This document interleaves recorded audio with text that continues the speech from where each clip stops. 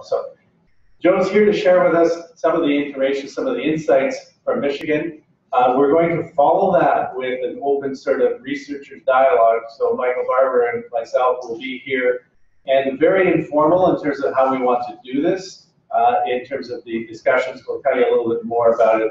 But we really want to serve your interests and answer the questions and identify some of the things that need further exploration for yourselves in specifically in Ontario as well as what you can take back to other jurisdictions as well. So without further ado, Joan, tell us a little bit about lessons from Michigan.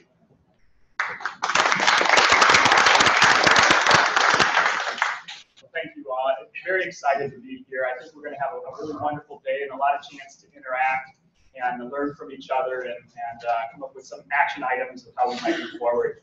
Let me share a little bit more about myself. I uh, used to be a high school English teacher. I retired from that. Uh, I went and got my PhD in educational technologies and educational psychology from Michigan State University. And for over a decade now, I've been working at Michigan Virtual in the field of K-12 online learning. And uh, i feel really uh, honored and fortunate to work for the company I do because there's really not another group I can think of that does what we do. We do really three things at Michigan Virtual.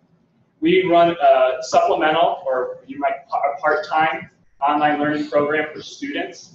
This past year, we had over 30,000 enrollments that we produced, and, and, since our inception in 2000, really, with that program, we've had over uh, 250,000 enrollments provided to the, to the state of Michigan online in the supplemental context. So we're, we're a big provider in that space. Another part of our, our organization does professional learning. So for educators, administrators, bus drivers, you name it. We provide online professional learning and some face-to-face -face professional learning. This past year, we had over 56,000 enrollments in our online programs for, for professional learning. And then what really makes us unique is that Michigan Virtual Learning Research Institute.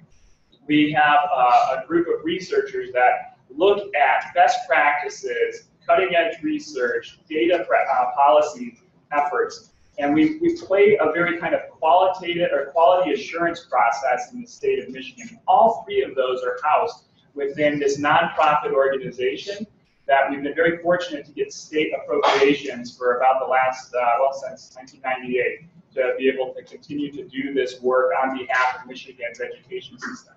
We are not a school, we are not part of the system because we are asked to try to kind of make change and help move that system along. And at, at the inception, it was felt like if we were inside, that would be a challenge. So we're very unique in the way we're set up and the way we're funded. Um, to give you an example of our size, uh, we have about 116, 117 full-time people who work for our organization. We have another 100 and probably close to 70 now who teach part-time for our organization, so we're, we're relatively large. Um, and I think it gives us a, a, really neat perspective on a variety of domains that are going to be important to conversations today. Uh, let me just talk, I'm going to kind of just lay the land of where I want to go uh, with today's session. The first thing we're going to talk about is, I, I want to give you some context about Michigan's different policies. There's really two policies I think you need to be aware of, and just kind of walking around the room, I know some people can understand Michigan has mandatory e-learning. That's true.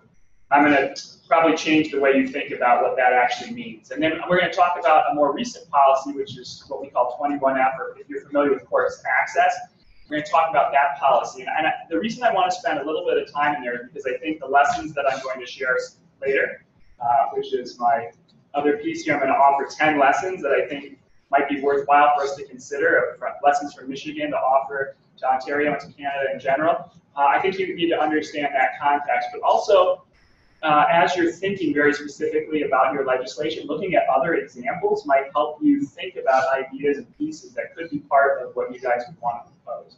So that's that's what I'm going to try to accomplish. I'm going to try to go rather broad because later on in the day, and, and even after this, when we have some Q&A and in our breakout sessions, then hopefully that will be where we'll dive in more deeply and have that. But I'm going to, try to set a really wide table for us.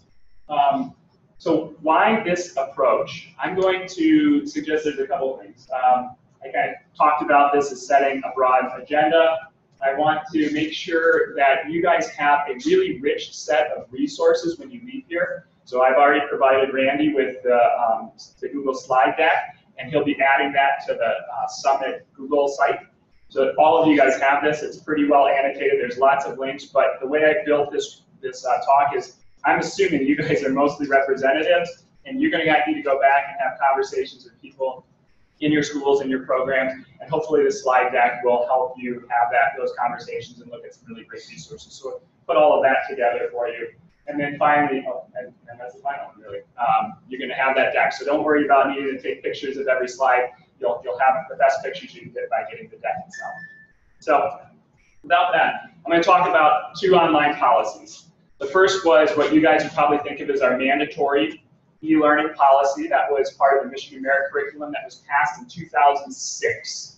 So we are more than a decade ahead, I guess, if you will, of where you guys are in considering um, some aspects of your mandatory e-learning policy. And the other one is much more recent. That was in 2013 with what we call Section 21F. And I'll get into more details of each one of those. I, I want to talk about this in part, not because these are the same things you're going through, but you will probably be able to find parallels between what's happening in Canada and what, what we've gone through. So as an example, the online learning requirement in Michigan was not a standalone requirement. It was a part of a package of a complete curriculum redesign.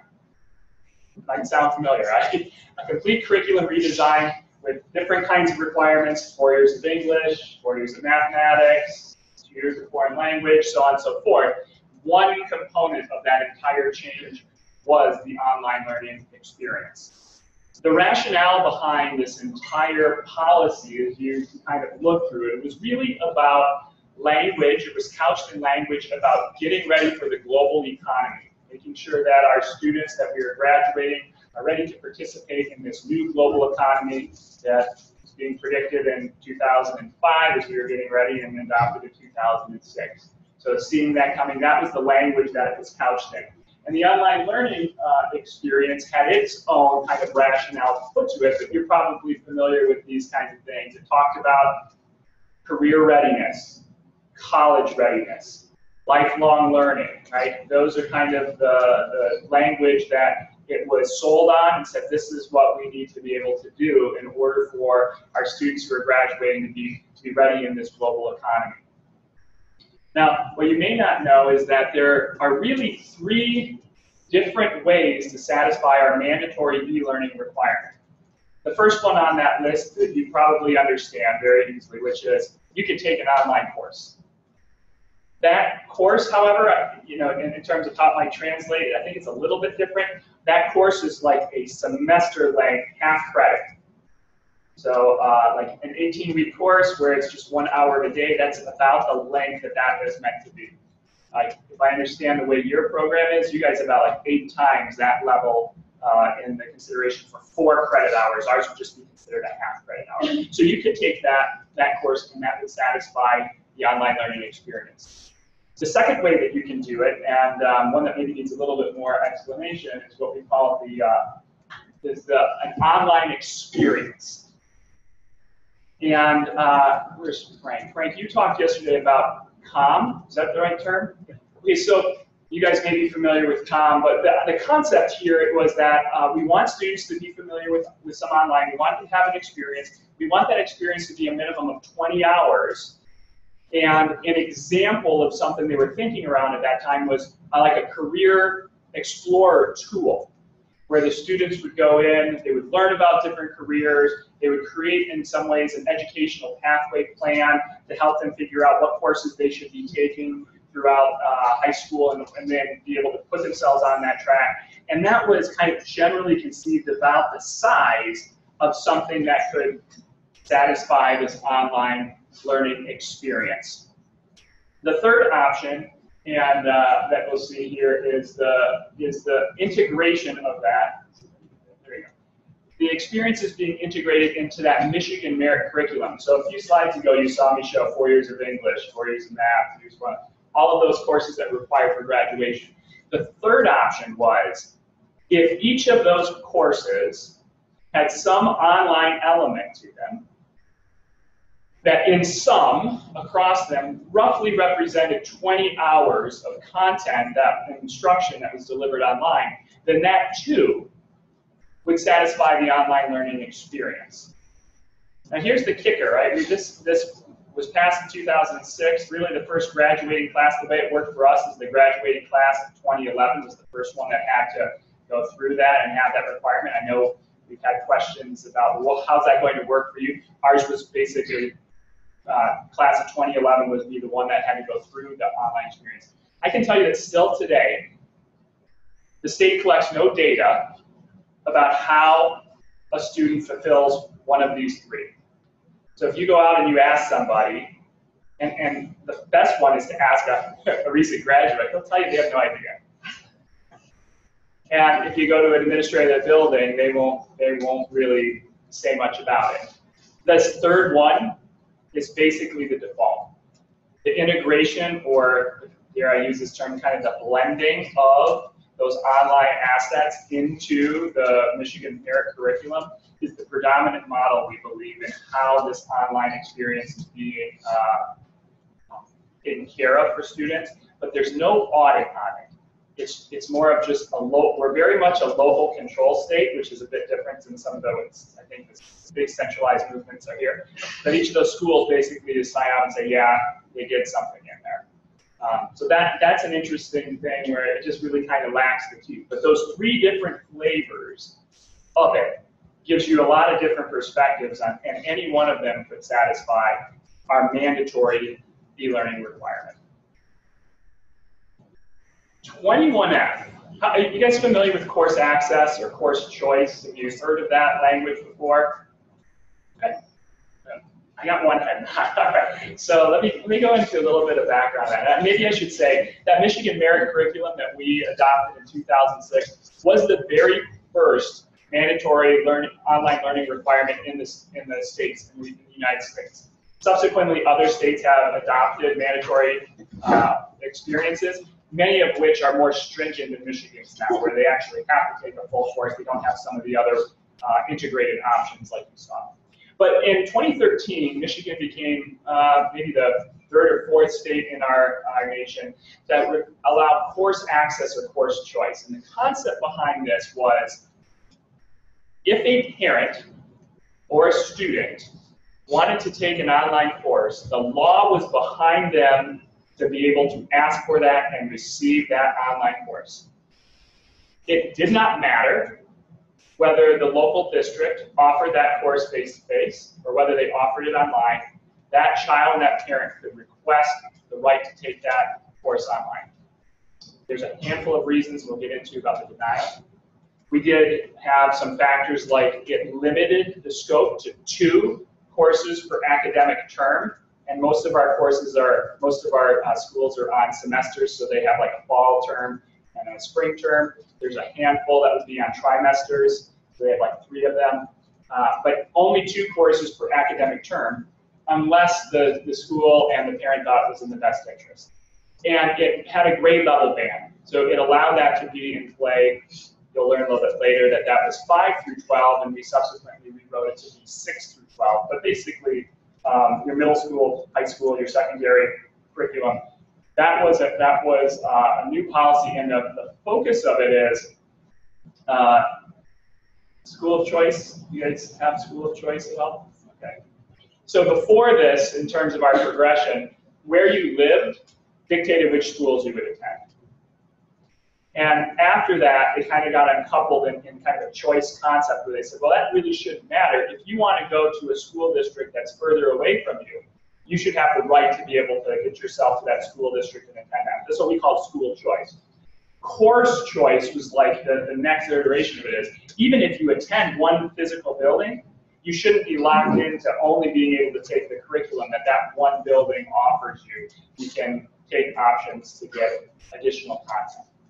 Um, and so that this whole 21F is in that vein of course access, course choice.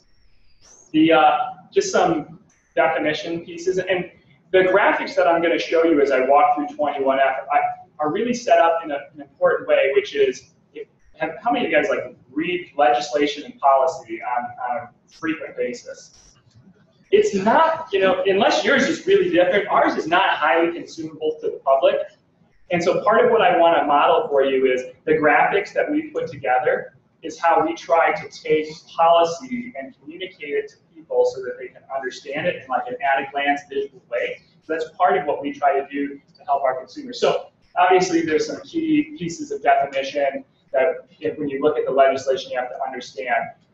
You, it sounds like in Ontario the course content for you guys is more centralized than what we do, but what Michigan's law basically says is that we are going to have a statewide catalog. We're going to have a centralized catalog, but any school district is allowed to put their courses in that catalog. The state's not involved with that. There are parameters which you get in which like qualify the course to be in there, but each of the school districts have the ability to offer courses to students across the state. It's not, it's not the department or your ministry is, our, our equivalent of your Ministry of Education is not the one providing that. Um, and so we have that kind of that primary district is where the child lives and the funding. So in Michigan's funding model, the child has a, a basic uh, traditional school that they would attend. The state pays that school. The school then contracts with whoever in that catalog and pays the fee for the online course. So the state doesn't change at all how it pays. It just treats it as like the school has another vendor that it needs to cover the cost for, and it uses the money that's appropriated from the state to pay those vendors. So that's why we have the difference between like a primary district where the kid's located and a providing district, which is where they're going to pay to provide that online course.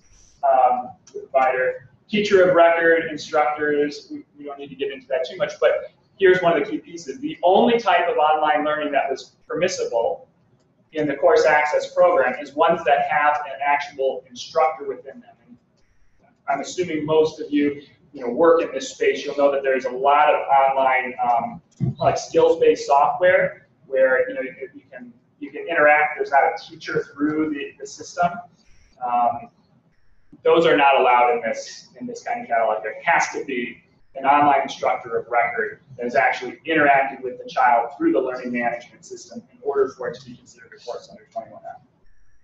Um, we have in legislation the permissible denial uh, reasons. And it specifically says if you are not choosing one of these reasons, you are not allowed to block that request. Does it happen? Yes, it happens. But that in theory, it ought not to. So some of these are pretty basic. Um, the, the law has been rewritten that says kids in K through 12 are eligible. So anyone in K through 12 can exercise that right. However, the district is given back the permission to block anyone in K5. It's a permission-based thing. It's not a requirement. So if a school district has a fourth grader and they receive a request from the parent student to take a course out of that online, they could choose not to block it. They could say, yeah, I think this is what's right for this child and move on. Uh, but they have the right to say no. The credits have already been granted, so the concept like if the kid got a B minus in Algebra 1 and wanted to retake it again, the school could say, no, we're not going to burn another you know, uh, cost for that credit. You, you're successful, we're going to move on. So that's a reason. Um, if it's not capable of generating academic credit, so there are some enrichments or audit things that are maybe less than a full credit course.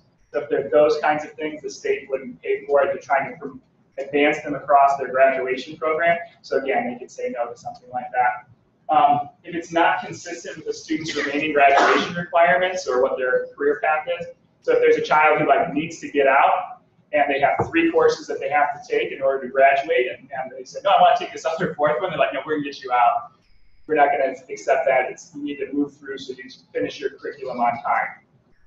Um, the prerequisite coursework. So, you know, the freshman who comes in and hasn't had chemistry but wants to take AP Chem, they're going to say, well, let's slow down. Let's make sure you at least possess the prerequisite, or we believe you have a good uh, possibility of, of passing it. So that's a permissible one.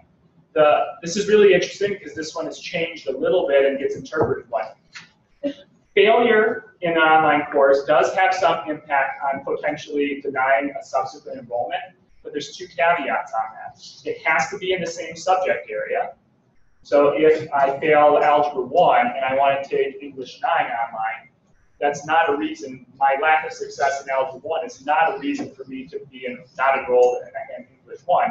And it has this uh, time frame, so it's about two years, I think. So if it, it was in the most two academic years. If as a freshman I failed that out for 1, I want to come back, you know, my junior, senior year and take something online, they can no longer invoke the notion that I was, I was, I had lack of success.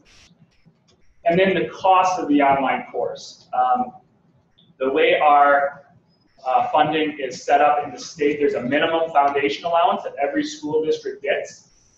And, our, and that changes from one year to the next, usually upwards, but not always. Um, the amount of money is set in the legislation at 6.67% of that appropriation. So I, I didn't, it's probably about 115, 116, something like that of the uh, appropriation. So if the dollar amount is beyond that, the school district can say, I'm not going to uh, allow the child to be enrolled. Now, a little bit of a caveat on that. The parent can choose to pick up the difference. And, and then the school would be on the hook. So the school is capped, its kind of liability, its cost liability is capped, and only then could it pass the overage over onto the parent. It cannot otherwise pass the cost over onto the parent. And then the parent has the right to be able to choose whether they want to do that. I will tell you in practice, there's almost no courses in that online catalog that are up at that 6.67%. In the catalog, most of the courses are around, let's say, three to four hundred dollars for a semester length course, and that includes the cost of the online instructor and then the curriculum and learning management, all of that is kind of baked in. Around 300 for regular courses. AP, you guys have advanced placement courses? Okay, so the AP course is more 395, 400, somewhere in that ballpark typically in the catalog. Whereas the 6.67 would be more closer to $500 of course. So no one is in that cap space uh, for the most part.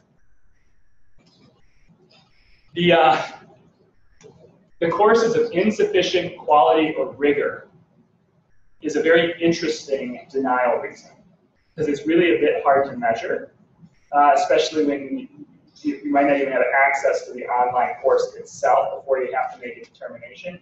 So this is more typically vendor-based. There might be um, programs that have more familiarity, more familiarity with or comfort with a certain provider that might be in that catalog. And if a student comes in and says, well, you know, I want to take Algebra 1 with this particular provider, you're going to say, I don't think that their quality is up to what our school, we think our schools is. But if you choose to do that, it's not an outright denial. It is not that vendor. You, we will help you figure out what is the right vendor. So, okay, not Algebra 1 with company A, but Algebra 1 with company B or school district B. And then they work with them to be able to find uh, that work. The course enrollment is not in the time frame. So you guys probably deal with this where a student comes in and they want to change their course schedule, very typical at the very beginning of the year. But if four weeks into the class, the kid's like, nope, I'm done, want to take that online course, that's outside of their traditional frames, they would not have to honor that request. The, the only difference would be if the student is brand new to the district, where you know if the kid comes in, kind of reset the clock for them, and you, you would talk about that at that time. Um, and that kind of applies to the same thing, which is, you know, is it is it made in the semester, trimester, or whatever um, that was preceding the enrollment? So those two are somewhat related. We ran into uh, a situation early on where uh, schools were blocking enrollment requests for reasons that they really should not. Um, and the, the mechanism was not as formal as it could have been. So in subsequent revisions, one of the things we said is, if you're going to deny it, actually has to be in writing. You, you, need to document it, you need to provide that documentation to the parent. And the parent can then take that documentation and appeal it up the chain and I, am not as familiar with your structure, but in our case, we have like a local district, and, and then the, each district has an, uh, a RESA or an ISD kind of above it that sits in its region. You, um, what's the equivalent, Michael?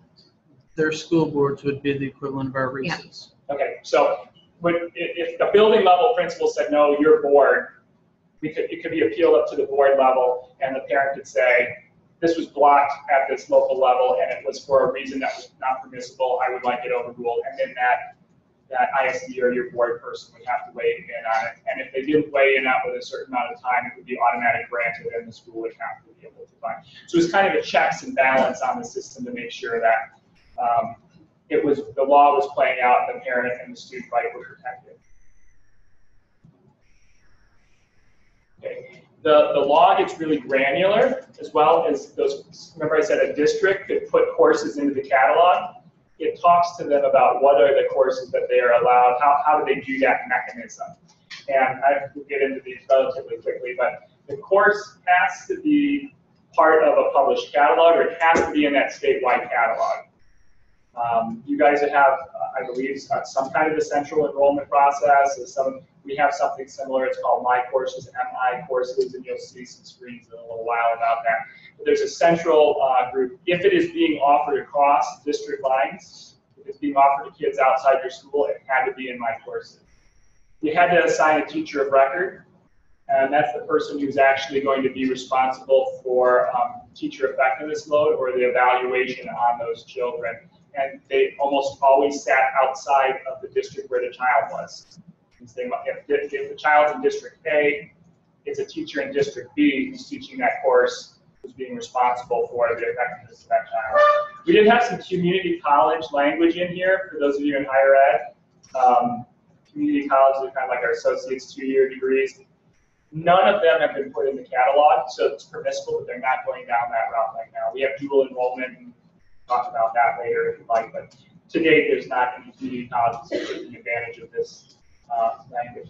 Has to be offered in a semester, tri uh, trimester, open entry, so it's just kind of a format thing, gets back a little bit more to that credit bearing component. There has to be a course syllabus, and I'm going to get in a little bit into what a course syllabus is, but it's pretty robust in terms of what that counts for. And uh, really unique, if you're going to offer courses, you have to include student performance data. And I'll share more about that. But the, the catalog says by October 1, if you're going to offer courses in the upcoming school year, and any of those courses are ones that you offered in the previous school year, you're going to tell the public how many enrollments did you have, and how many of those enrollments earned 60% or more of the total course points. So they're going to compute what we call basically a pass rate in that catalog, and that's going to become public knowledge that consumers can. Uh, so let's talk about the syllabi. these elements are in the legislation. Each one of them is spelled out and, and said this has to be part of the component of the course syllabi. And we'll kind of run through them relatively quickly. An alignment document. So an alignment document for us is most of the courses, many of the courses, maybe not every elective, but for sure the ones that are required for graduation the state has a set of standards, curriculum standards, and you have to create a map back to your, what you're doing in that course back to those standards so that anyone could look that up and understand how that course works and how that course meets those standards. With the course content outline, so you have a little bit like, hey, there might be these four or five units, these are the topics that are covered within it, that's visible to them. Uh, required assignments within the course, we'll talk a bit about that, as well as any of the prerequisites. So if you need, if they recommended you needed to take something beforehand, that's listed. The expectations of interactions for the students with their instructors, that's a written field and the school puts down what those things are. For instance, many of our courses are all asynchronous. Uh, is that term familiar? Asynchronous meaning the, the teacher and the, the, students are not online at the same time. Many of them but some of them have asynchronous components. Could be labs, especially in world languages where they, they might have office hours or other things where they need to get in at the same time. So Those kinds of expectations are laid out in a field like that. The academic support to the student. So again, how are they providing, whether that's office hours or other kinds of support that they have. The learning outcomes and objectives, you guys are probably very familiar with outcomes and objectives. Those are those are included in the syllabi. Um, the name or institution that's providing that course. So we think think about it in two ways. We kind of uncouple that course and we say somebody built the course in terms of someone created the IP, the intellectual design of that course, and that's what we would put in as the organization um, providing the content. And somebody's providing the teacher. These two are often the same, but they do not need to be, right? Because a local district could be getting their content from some third-party provider, but then using the district teacher to teach it.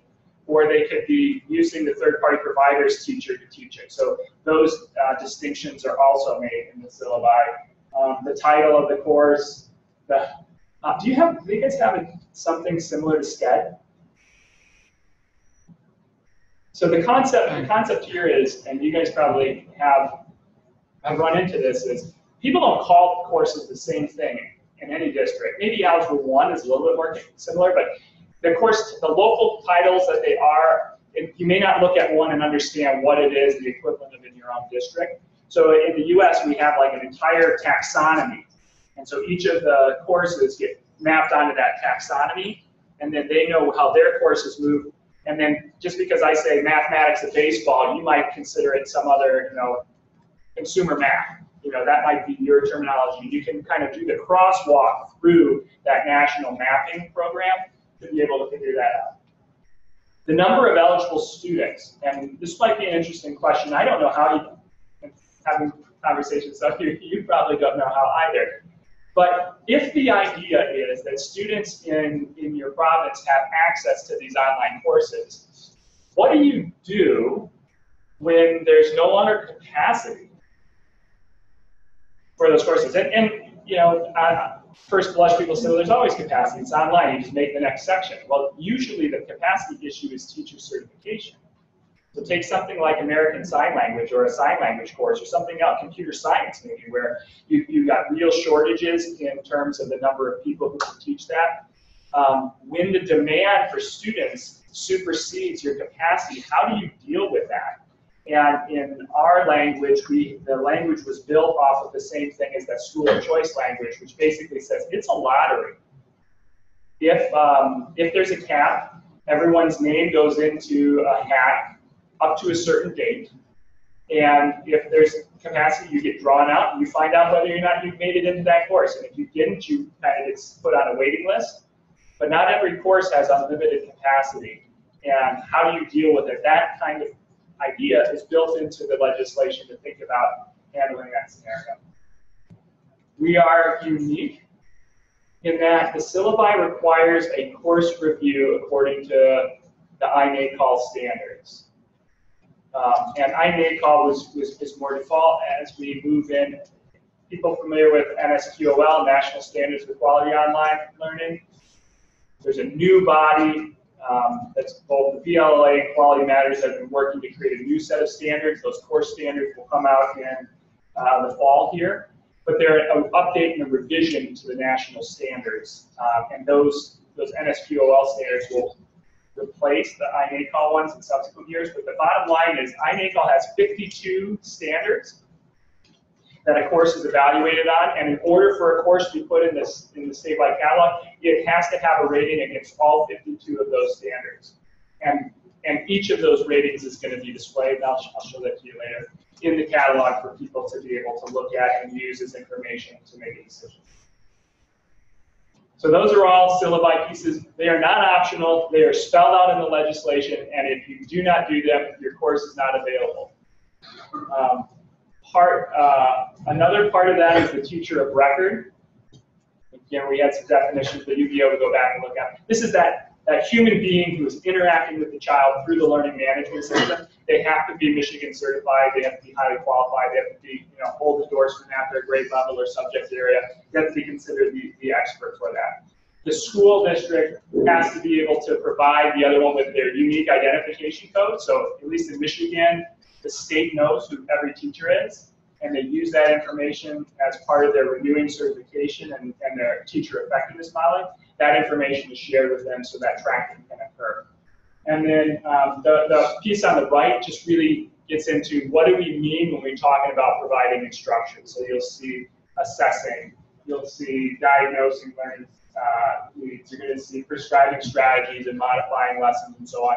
It kind of defines what's that role of the teacher because in a little bit I'm going to fracture uh, the human supports into a couple of different ways to think about, but that's what it means for a, a instructor of record. The final piece here is a requirement for a mentor. And I don't believe you have this. Uh, Michigan is a little bit unique, at least more unique in the sense of the mandating of it, and um, uh, other states have similar rules, but they may not legislate them. If you're familiar with a facilitator, a guide, I think we were talking last night, was it a, a DELC? Is that, is that what the, No, they're the district person. well, what's the district person's term? That's the Delk or Telk. That's the current one. Telk, is it? It's, it's, it's somewhat interchangeable. It's either Okay. milk or telk. Okay, okay. It may be something similar to your DELC or TELC, I'm not exactly sure, but the, the role behind the, the mentor is a couple things. If the state is paying for that course, then the child must be assigned a mentor. The mentor must be a professional employee of the school district. The Person does not have to be certified, so they could be a paraprofessional or somebody like that. But their focal point is to serve as kind of boots on the ground or an on-site support for that child. Uh, and I'll get into that a little bit more uh, in, in uh, subsequent slides. But their focus is to do things like uh, the, the, the online teacher is not probably going to be able to really help the child navigate the technology needs in the local building, and that child may not have that capacity. So that person who's actually physically in that building with them, they help them figure those things out. If the child, and this probably never happens for you, but if the child doesn't log in and doesn't get the messages and all the communication that that online instructor is, the, the breakdown is not great, right? So that's when our online instructors get in touch with the mentor and say, help me track this person down, let's find them, let's get them back. So it's that ability to have somebody locally that can help support that child. Uh, and that's the mentor. And that's, again, spelled out in legislation. So all of those different pieces represent the requirements of 21F and our course access. So, two policies, our mandatory e-learning, our more new 21F. That's the environment we've been living in for the last more than a decade. Um, and now I want to kind of shift to the part of the, the talk where I say, uh, so what, what, what do we have to offer in Michigan that I think have parallels to issues you guys might want to be dealing with when you go back into your districts, or topics we want to talk about today when we, when we move into it. So I, I'm gonna, I got 10. I'm going to start with my first one. My first one here is focus on opportunity. And if you read my blog post that uh, CANeLearn put up, I called this focus on spirit. And I decided to change that terminology because while I was pretty clear in understanding of what the spirit of Michigan's legislation, I don't necessarily have the same idea of what the spirit of your proposed legislation is behind that. So I, am going to I'm going to change my terminology a little bit and say I think it's really uh, about focusing on the opportunity. Here's what I mean by it. I grabbed this picture. I don't know if this is exactly where everyone goes, but wherever it is, people are going to spend a lot of time mulling over whatever is in that boilerplate, whatever is in that proposed legislation. You're going to read it word for word, and you're going to you're going to look at that, and you're going to know what the letter of that is, right? And you're going to be asking yourself, how do I make sure that I am checking all of those boxes? You have to do that, but it's not the most important thing. You need to focus here you, you need to look at your own kids and focus on them and think about the opportunities you need to be providing for them in order to get them to that end state, right? And the end state at some point is four credits, but I, I would I would argue it's not about four credits. Four credits is a minimum. What you want is to have the kids leave your programs with the ability and the competency to be able to exercise online learning or e-learning when it is right for them when they leave your school. I, I offer you what we call our online learning readiness rubric, the link to it there. But one of the conversations we have all the time with schools is they'll say, well, we got an online learning requirement. I need to give this kid an online course. And we ask the question, is the kid ready for an online course? Where is the child at in their spectrum of preparedness to be able to do this? Is that the right thing? Um, and and more advanced schools and more successful programs understand that it's a learning trajectory, like a learning pathway and a progress for that kid. Black schools that don't understand this to me ask questions like, um, is, is online learning right for Johnny? And we, we really work hard with them and try to say, let's ask a different question. Let's ask, what's the next learning experience Johnny needs to continue to move closer to where we want him to be? And unfortunately, um, sometimes the conclusion in many places, it's a, it's a full e-learning course, and, and the kid's just not ready for that. Um, and sometimes they can handle multiple. But what we have in this online learning readiness rubric is a series of dimensions. So you can see on the left there, kind of um, ballooned it out, different dimensions that we look at and, and less to more ready on those scales. And what we ask and try to get schools to do is have a child take a look at this. You know, how would they evaluate or rate their readiness on these different dimensions? How about your parent? Could the parent independently go through this and do it? Could the mentor or whoever your counselor is or the, the next person, you know, put those things down on a piece of paper and then triangulate them and come together and say, what do we think about Johnny or Sally, right? Where are they at? What do we need to do for them to be able to get them to where we need by the time they exit our system? And it's such a more nuanced conversation. We don't use this necessarily as a yes, no, right? If you don't score a certain level, you cannot have an online course. But we use it to be able to start the conversation about is it right and is it right right now? Right? If it's not, what are we going to do to help move them a little bit further? And if it is, what are the things that I already know I should be watching out for, either as the parent or as the mentor or as the student? Uh oh, time management may be an issue for me. I'm going to be running into an environment where someone's not really holding my hand from a time management perspective. I'm going to need to step up in those ways. It, it allows you to have some conversation up front before you make, make the decision it's too late and be proactive about it. So focus on that opportunity, and that's really about the kid. Know your stuff about your policy, but it's not going to help those kids be successful, right? It will help you make sure you can check the boxes and get them through to get the diploma, but those separate those two things out. They're different. Uh, nothing is perfect. Is my second option.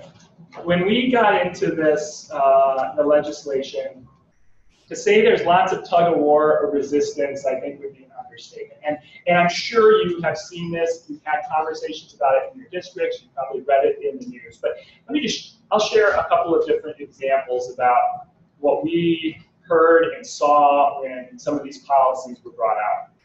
Um, multiple administrators, multiple administrators I had conversations with, and it went something like this.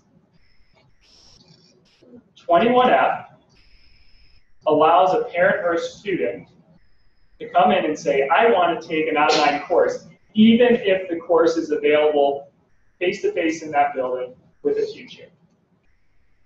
And the administrators would say, what am I supposed to do when I have 30 parents who, and their children who come to me and say, I don't want them having Mrs. Smith. We are not going to have our kids do this, and there's a, basically a mutiny on their hands if nobody wants to take Mrs. Smith.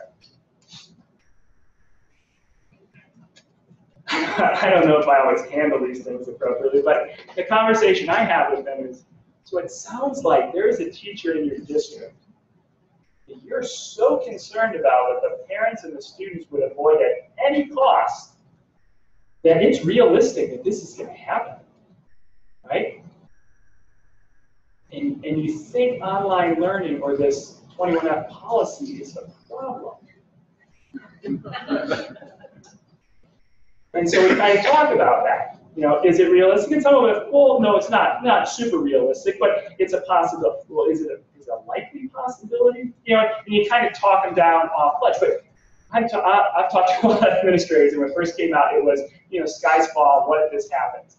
And as they go through, I think they recognize it's unlikely to happen, and if it did, boy, what an, what an important piece of information for me to know about maybe I've got some work to do on professional development, building individuals, uh, plan and how do we move through that? So I would say, you know, we, we saw that kind of resistance.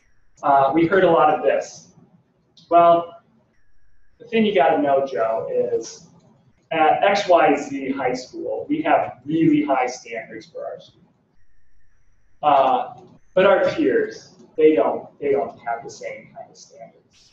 They, they water down the hood. And it would be constant, everyone, same thing. a lot of distrust about what their peers would put into the, into the catalog and, and uh, that somehow their own students were getting a much better education with their own program than they would if somebody else were allowed to educate. And in, in a very in, uh, environment where graduation rates or other things are important, there was a, a big concern that no one will do it as well as I do. That, that's gone away. Heard it up front, didn't, hear it later. Right? But, but a concern that they have. Uh, we heard we, we heard the idea that uh, what I'll call it basically is a punitive response. Yep, you will honor that 21F request. It's your right to make it, but you gotta know what? You're on your own. Don't want you coming to school. You take that hour, you go wherever you want to do. Uh, your mentor, I gotta assign your mentor. Your mentor is the janitor. seriously, seriously. Or it's uh, a building principal, which good luck trying to get access to that building principal, right?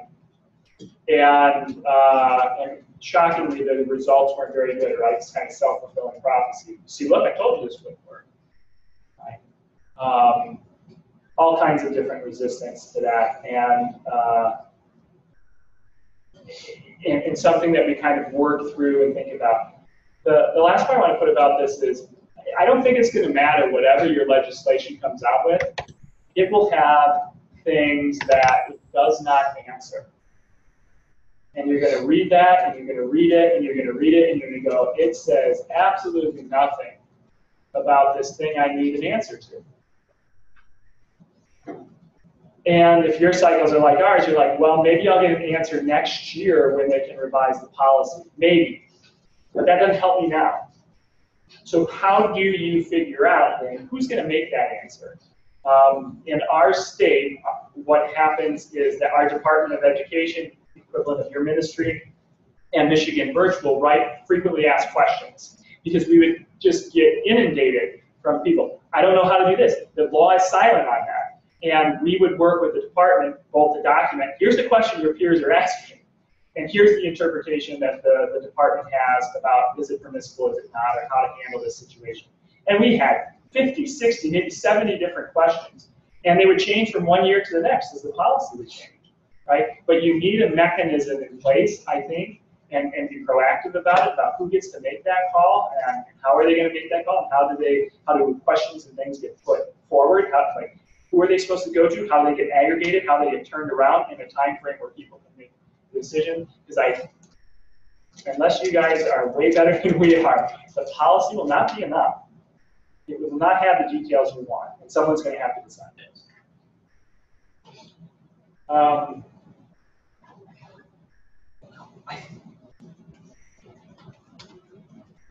high, we talk about online learning and e-learning and a ton of the conversation, and probably today, and rightly so. I don't say that this is not a conversation we have, but it looks like this. It looks like we need to talk about technology, right? We, we're going to talk about a lot of technological access, computers, you know, content, all these things, right?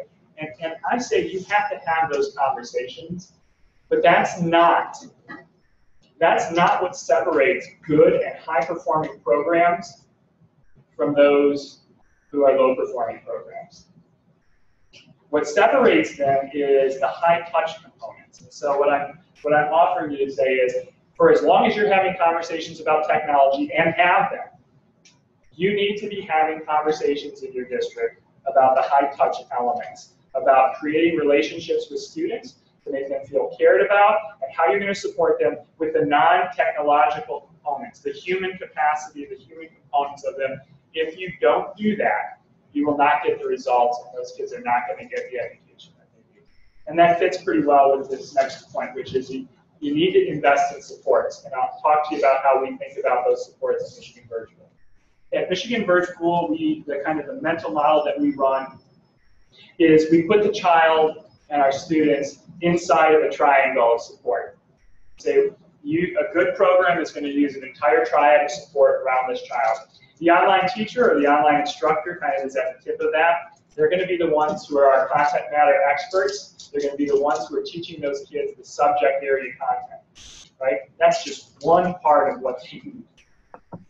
The mentor that I have in that bottom left, we kind of talked about a little bit, but this person is really critical because um, some students will never ever meet their, their, their mentor or their online instructor. They may not necessarily develop the greatest relationship with that person.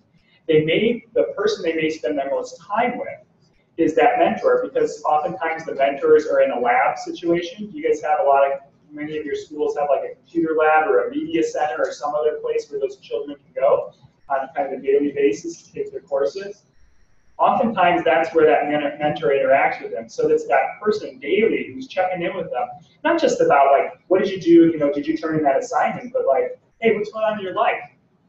How are things with mom? You know, I know XYZ is, you know, this person is sick. Building a relationship, building somebody who cares about that child, and someone who can help communicate with that mentor.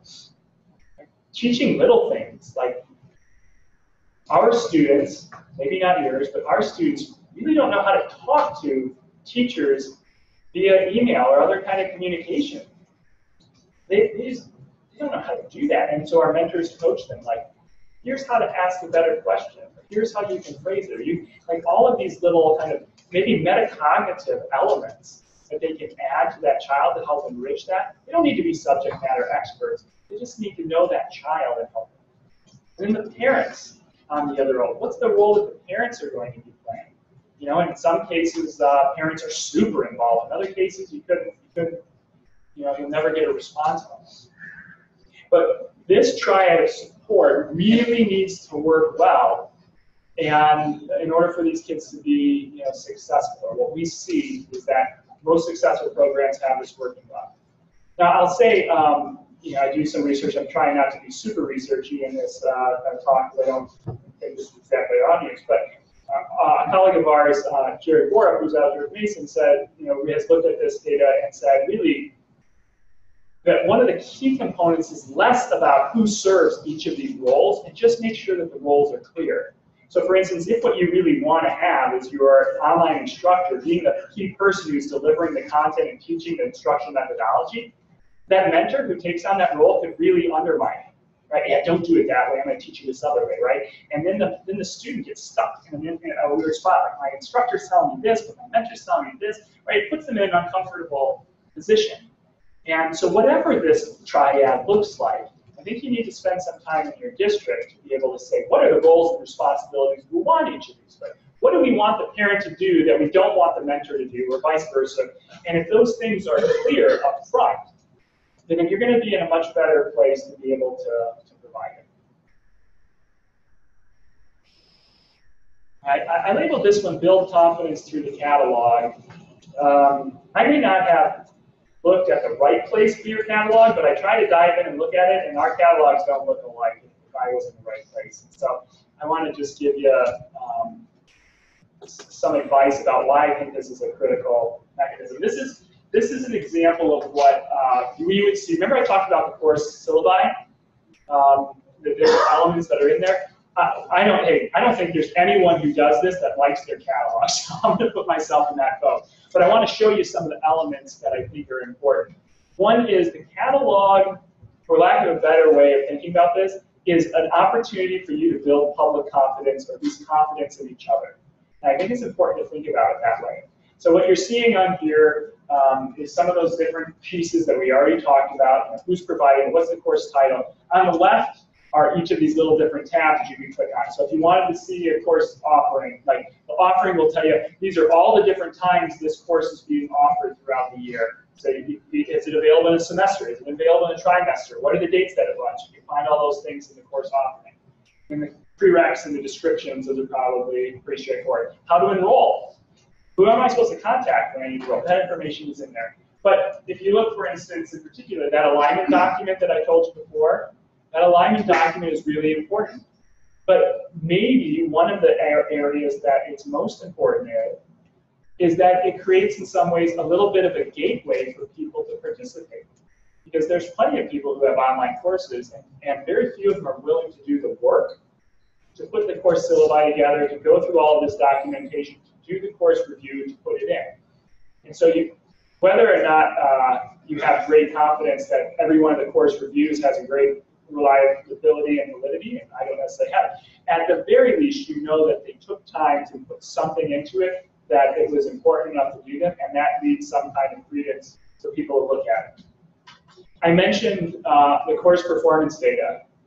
I can't tell you how many times uh, we go back and say, hey, you're going to offer those courses again next year. Like, no, you know, we're going to go with a different provider, we're no longer do it. And I think to a large extent, it it's this mechanism. That is, if the, if the school's not having great performance, they're not advertising that. They're not going to put that course back in the next year. Right? They don't want to come out and say, yeah, last year we had 200 kids and only 10% of them passed. They're going to go, no thanks, we're not going to offer that class. And so the kind of the, the transparency that this provides, uh, you, you, know, it's kind of like that uh, antiseptic that says over time, people are only going to be putting in the things that the students are more successful with. And we're going to allow you to see all of that as you try to figure out that quality, that rigor, student success that's open to parents and others uh, to be able to look at that. So that, that I think is a really important piece. And then this is just an example of those standards that I had mentioned, where you can look up and you can see things like, when was the last time this course had been reviewed? If it hadn't been reviewed, in seven years, I'd have some concerns about it, right? And if you want to look at any particular one of the 52 INACOL standards, you could drill down to that particular standard and understand uh, who it was, you know, what the rating was on that. Uh, so that, again, just gives some kind of a flavor of a little bit more confidence in the catalog. We run into um, uh, issues where it's very hard, right, to know and keep track of 25 different providers.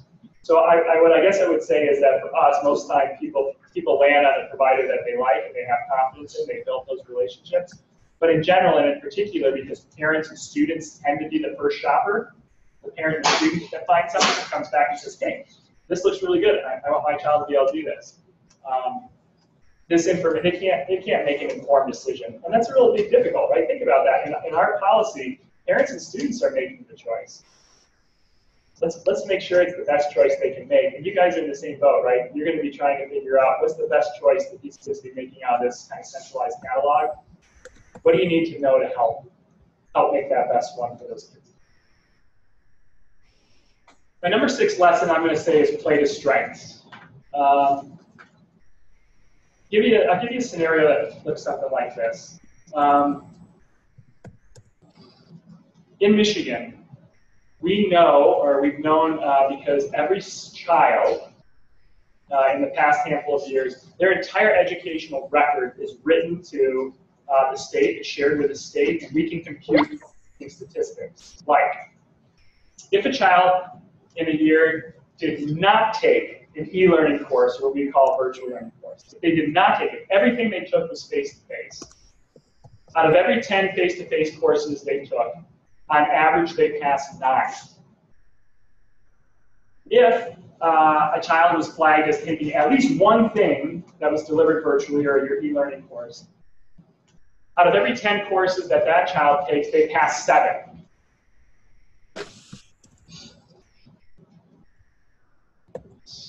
Something mostly goes wrong for virtual learning in Michigan to occur. It could be benign, all right? So, something that goes wrong. Um, there's a course that's offered first hour that the child wants to take.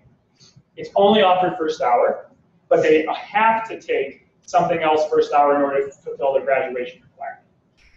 So we call this scheduling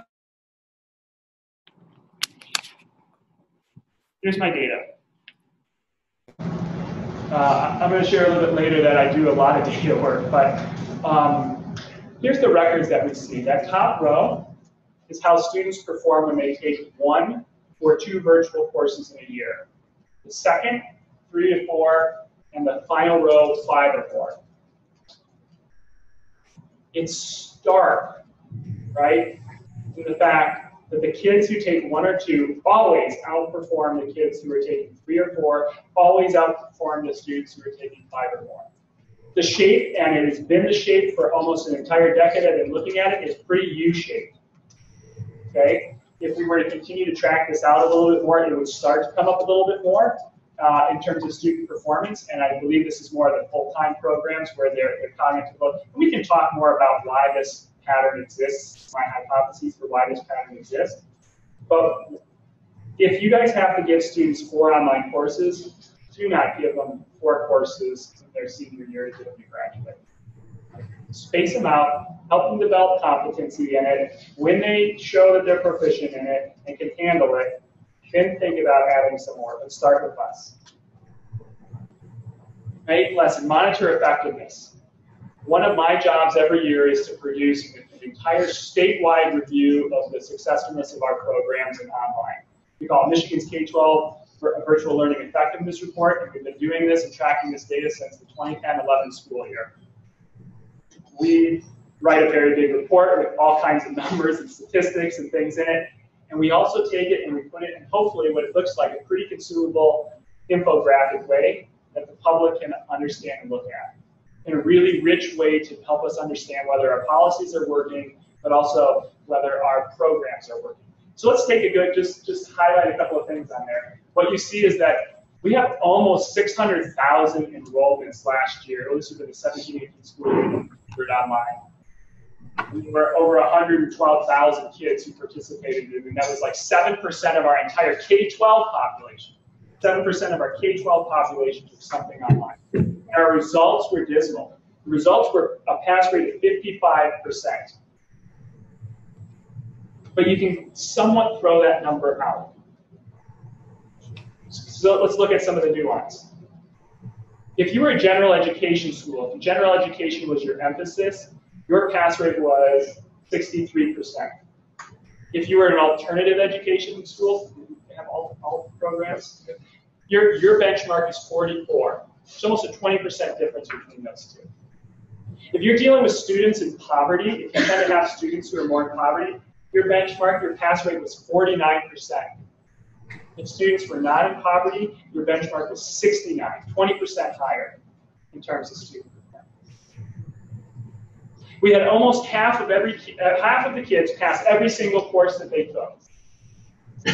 But there was, and this is kind of bottom left there, there were over 26,000 kids who didn't pass a single online course that they took.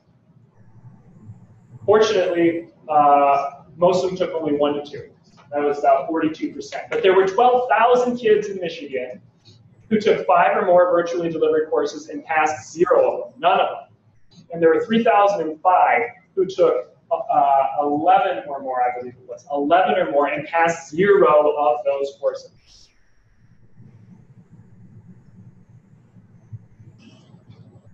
What interesting conversations we can have as a policy, you know, when we're talking about policy when we look at these data, but also about our own programs. The, the, the report gets into things like tracking it over time. We've gone from 36,000 virtual learners in 2010 to what I told you was over 112,000 in the 17-18 school year. We've gone from almost just shy of 90,000 enrollments to just under 600,000 enrollments since the 2010-11 school year. We've gone from the number of schools being 654 to 1,158 schools that have virtual learning programs. Everything is going like this The pass rate is here, slightly declining, going down. Somewhat stable in the last two years at 55%.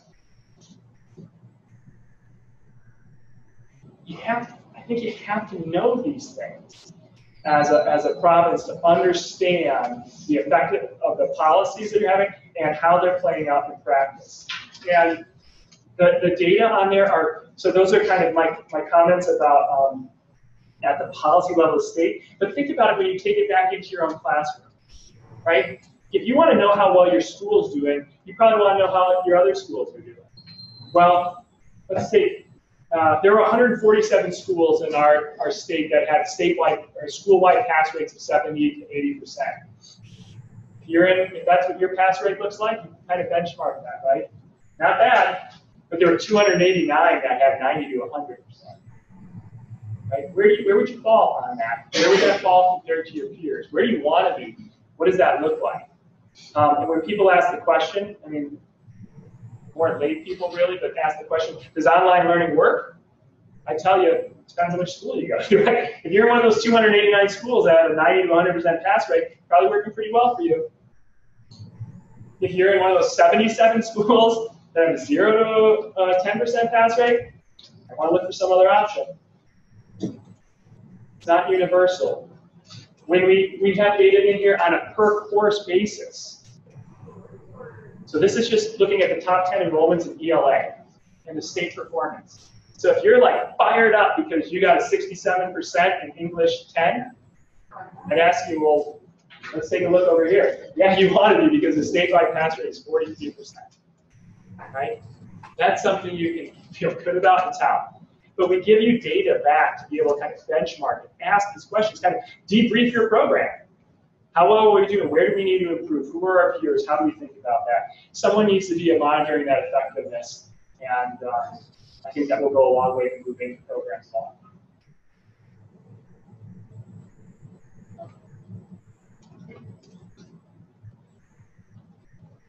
Learn from each other. S spread best practices. There's going to be things, even today, this is a, an opportunity for us to spread, spread best practices. How are we going to do that? I'm going to show you how we've done it at Michigan Virtual. And I'm going to offer these things and to say, there's probably a ton in these guides that will be of value to you, and some of which you can discard because it's really about Michigan policy. There's components of it. But here's what we think. We think that learning is pretty situated or it's role specific. And so we've been spending our time to build a, a guide to online learning for key stakeholders. We have a guide for students, right? What is this online learning thing? What should I be thinking about if I'm even considering it or getting, getting involved with it? We have a, a guide to online learning. All of our guides are free. The mvlri.org slash guides will get you to any of them. Um, they're there, please use them. But we have a guide for students. We have a guide for parents. Are really important in a, in a um, course access uh, environment. But I might argue, like, if from what I understand about some of the policy, it's questionable about whether parents really are on board about this. How are kids, if we go back to this opportunity thing and focusing on students, if if the people who are trying to provide support for them don't see this as a really positive thing or see and focus on the opportunity for them, man, it's really going to be hard for those kids. So what's the parent role? How do we help educate them? How do we think about it? We got a parent guide to do that. We have a mentor guide to online learning. Um, sorry, a mentor guide. So if you want to know more about what our mentors do and what their roles are and how they can support it, we got an entire guide for that. We have a guide for teachers. Pretty robust guide because our, our teachers, and like I said, we deliver 30,000 course enrollments. We work with our teachers. We've been doing this a long time. So we think our teachers and your teachers need to know if they're going to be teaching online. We have one for administrators. Your role's different, right? What you need to do and how you need to facilitate that. We built that guide with several different educational organizations in our state. We have a principals association. We have a, a like what your board association would be. We have, uh, you know, um, the elementary versus middle school, or we work with all of those groups to come up so that they could all say, yeah, these are the things administrators need to be talking about when it comes to online learning. We have a school board guide. We got a lot of lay people who are making really important decisions at the local level, and they have no idea about online learning. How do you educate? How do you spread those best practices? This is how we do it. Um, there, there's really nuts and bolts components that we put in our toolkit, what we call toolkit. And so this is where FAQs, you know, if you want to know something the law is not answering, you want an interpretation of it, look at our FAQs. If you want to have a sample contract with a parent, you know, like a learner agreement, these are the things, you have a sample one of those, because we heard time and again people want that. If you need to update your handbook, because you, you need to put some language in your parent or student handbook, you know, to go home, we got language there for it. We have uh, school board policies. We have an interview rubric. So when you sit down and talk to that kid, you know, hey, let's talk about online learning. Maybe you're ready for this. We got, we got these materials ready for you. Go ahead and use them. Adapt them. Choose, choose whatever you need to do. But think about all of these resources we've found are necessary to support kids. And then finally, I'm just going to end with this update policies piece. I, I talked before about nothing's perfect. Work on it. Iterate with it. Move it. Make it better over time. When, from the first iteration, we had all kinds of different changes that have existed. Really practical things you learn, like the initial legislation was five, grades 5 through 12. And then when we started running within a month, everyone realized, you know what? Fifth grade's really hard because most of them are self-contained. When, when math is at 9 o'clock on one day and 3 o'clock the next day and 12 o'clock, and there's never like a really release period for them, how do you do that online course? There's not really a time I can take them out. You go, okay. that makes sense. And the next year, the law got changed to 6 through 12, but with permission to be able to do it for um, we had issues uh, around funding mechanisms. We can maybe get into that long. I know I'm going a little bit long, but you told me see. So, um, the funding mechanism fundamentally changed over the time that we did it because it wasn't working or it had perverse incentives that were not um, motivating people to do the right thing. And so time and time and time again, that law got updated and changed because people around in the community said there's a better way to do it. And you have to be able to work with the, um, the Department of Administrative Education. You have to be able to work with your legislators to be able to figure those out, to be able to explain this in ways that they understand why it makes a difference, and treat it as a work in progress. Right? That first draft, whatever it is that you get, probably ought not to be like the draft five years from now. Um, locally, there's a lot of work that's probably going to be done, that you're going to need done. Look at your websites. There's probably things on your websites now that need to be updated or are out of date. Your handbooks, right? Your communication letters to parents and so on. Maybe even pieces that your school board needs to adopt. You need to take a look at those things, put them into communication. I give you an example. I I um, have just spent the last uh, few months trying to get my own child a 21F course. And um, it's an interesting place to be when you know more than just about anyone in the entire state about this legislation, but then you're dealing with school districts as a parent, right? And I can tell you, I constantly got misinformation. Oh, that's wrong. That, that's illegal. Yeah, that's wrong. And we worked through it. We worked through it, but I, I'm knowledgeable as a parent. But this is many years, right? In, in a very good district and they don't, they're not up to date. They don't really know. They put themselves at risk by what they have out there or think that they can do. Um, so don't fall into that though. Try to think about updating your policies. So really, that's what I wanted. I, I try to do those things. On. I wanted to try to share with you guys just a whole host of resources because we've been where you're at. We think we've learned a lot, and you don't have to start from scratch. I really encourage you to look at those resources, and I hope I kicked on various different topics a really wide range so that for the rest of the conversation today, we can, we can really have some fun and dig into what's important to you. So thank you very much for letting me come and present some of our lessons.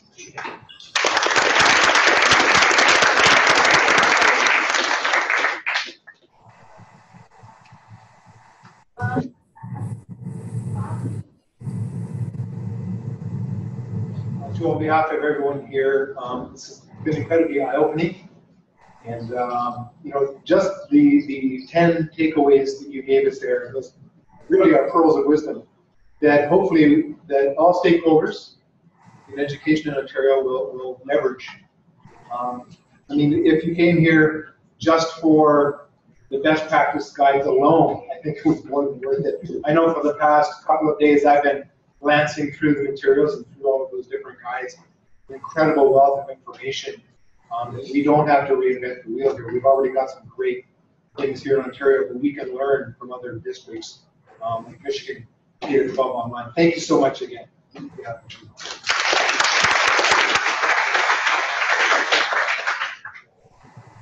Thanks. So just in terms of curation, just to update you, uh, Michael Barbour's been putting uh, the blog posts along.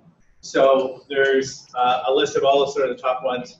If you go to the Google site, which has got links, on the Google site under program details, I put a link to uh, Joe's presentation as well as his blog post, which also summarize that, as well as some additional information that will be there. Uh, I want to say thank you to our online audience. We have uh, probably half a dozen or more virtually. Daily Lawman, uh, six or seven. Okay, so if you're counting, you eliminate my computers, then it takes everybody out of the room. So the uh, so so welcome and thank you for for being there. For those West Coasters, it's uh, kind of an early start uh, for that. I want to get into some questions as well for Joe specifically about some of that which he shared. And then Michael and I will share some of the more Ontario-specific things that we've curated through CANeLearn. Uh, and essentially then this is to lead us into a discussion after the break. So we're kind of flexible in our time if that's okay with everyone here. We just want to just, you know, get the most out of the sharing. So I think we want to pick Joe's brain a little bit. He will be here as well. Maxon's going to open this afternoon with some uh, information and notes about experiences through Contact North, Contact North as well. And then we're going to launch into a sort of a future-focused discussion this afternoon about how can we apply some of these things.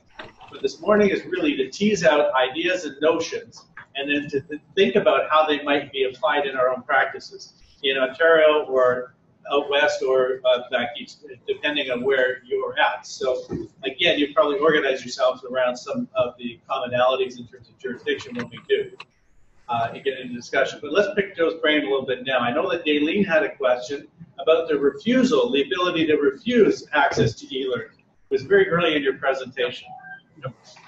I think it was specifically at the K5 level what she was interested in, although Daleen can type the clarification as you're going. Yeah.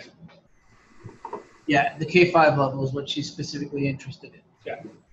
Okay, so um, just kind of recap. When the legislation first came out, it prohibited anything that was uh, K4.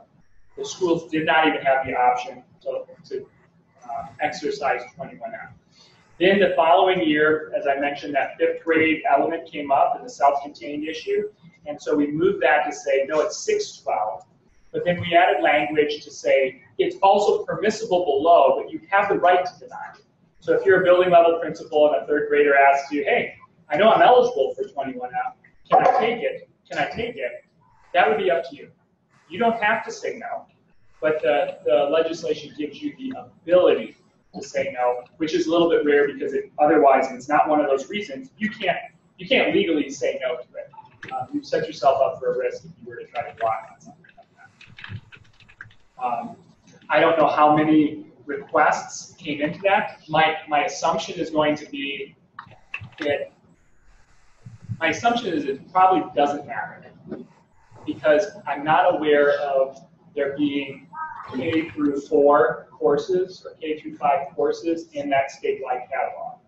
It would be more likely if there was a student who had advanced skills, you know, like was a fourth grader but was ready to take a middle school or some kind of course like that, then maybe the catalog would have had something that would have been applicable for them. But if they were on grade, if they were looking for content on grade, the statewide catalog really didn't have it. So by de facto, there wasn't have been something that they, they could have.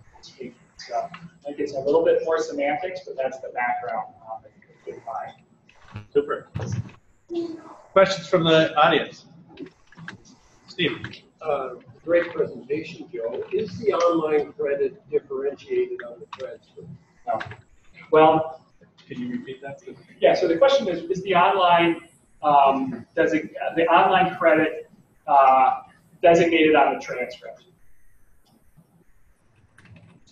Because most of the courses, I believe, are occurring through that MMC integration, there's nothing on the MMC course, like an Alpha G is going to say this was this also had an online component to it. Some school districts, the school districts have the ability to transcript as they'd like. Some will put, you know, dash online course. Some don't. Some feel like that is potentially a detriment. Some have the philosophy that putting the online, like a designation of online course on it might be negatively by a registrar at a university. So there's some who prohibit it. The language in 21F says that if you take an online course through 21F, you must transcribe that onto the, the, the transcript using the course title that is in that statewide catalog. So you couldn't take, and, and none of the none of them that I'm aware of is like, you know, blah blah blah blah blah dash online course. They don't say that. Um, so most of the time, I would say there's not like a designation that that you see it in that way that it is clearly coming up as online. I think I heard you say, might, might be wrong, that the e-learning courses are taken as a regularly scheduled period during school, or is the expectation that the kids do it during their spares or after hours? As it pertains to, okay, so the question was, when in the school day does the child take an e-learning course? The, uh, it can vary, but essentially this is what happens. The child, the state is giving the child, or giving the school the foundation allowance to educate that child. That education is going to cover whatever gets put on the child's transcript. So if, if uh, we had six hours in a day, there's going to be six courses that they take uh, in the fall and six courses that they take in the spring. If it is for one of those six courses, they have to pay for that. If they want to take it outside of that, let's say the child says, I want to take reading terminology in ours might be a zero hour or a seventh hour, I don't know if you use that, but basically before school or after school, a school district could say, I've already satisfied your group of courses, right? I've already used the state appropriation to fill an entire schedule for you. You're asking for it above and beyond, and I do not need to support that. Now, the parent could say, okay, drop one of those courses during the school day and put it on in that, in, in that area. So for instance, my child is going to be taking a computer programming course online. He's going in sixth grade. They're going to put that computer programming course on his schedule. He will go to a lab, and let's say it's third hour. He will show up to that lab just like he would go to any other class, but in that class, he'll do his online course. And the parents, in our case, will not pay anything because the state's paying for that course.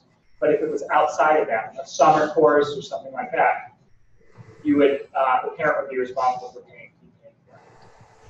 Okay. Paul and someone over here, and then,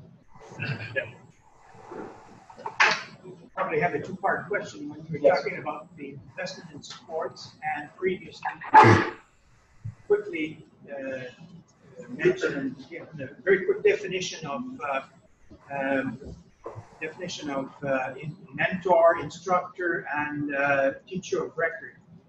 I understand the mentor part, but can you elaborate a little bit more on the difference between the teacher of record and the instructor? Uh, in our concept of the word we have used now for the last 10 years, the teacher of record and the instructor basically a certified, uh, qualified teacher uh, under the, uh, as an- another uh, uh, college of teacher, certified by the college of teaching in Ontario. So I'm just trying to understand the difference. So what's, what's the difference between an instructor of record and a teacher, like an instructor or a teacher of record? Yes. In theory, there should be nothing. There should be no difference. In practice, some things play out. So the online instructor is supposed to be the person who's actually coming in through the learning management system and providing support to that child. In theory, the way the system is supposed to work is that person is the one who's supposed to act as the teacher of record and be reported to the state as the one who taught them. Some school districts um, may have uh, like a lab coordinator or that mentor person who they assign may actually be a certified instructor, maybe a certified teacher, and oversees the lab. And in some cases, the school prefers to put that person down as the teacher of record, even though they're not through the online system. So that's kind of a nuance, but in theory, it's supposed to be the person who's coming in through the learning management system, not the person who might be face to face. But the teacher of record is a statewide um, reporting requirement. So what we may call it an online instructor, the state doesn't collect an online instructor. They just put that teacher's pick, that personnel identification code, in that teacher of record form to tie those two together in terms of accountability. So more administrative, less practice.